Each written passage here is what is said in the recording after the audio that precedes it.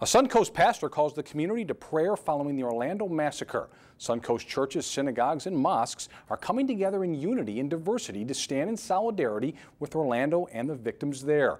The Islamic Center of Sarasota and Bradenton, Trinity United Methodist, and Manatee Unitarian Universalist Church are just a few of the religious organizations expected to join the community at tonight's interfaith prayer service at the Church of the Trinity. Now, that church is located at 7225 Lockwood Ridge Road, and the service is open to the public. It begins at 7 tonight. Senior Pastor Charles Tygard says the power of prayer brings people of all faiths together, especially in times of tragedy. We gather around uh, to support one another, to um, to lean on our faith resources, prayer and, uh, and and worship, and I think you know to come together tonight will be a really powerful thing. With emotions running high, security is a concern. Reverend Tygard said they've notified the Manatee County Sheriff's Office, and there will be heightened security to ensure the safety of everyone.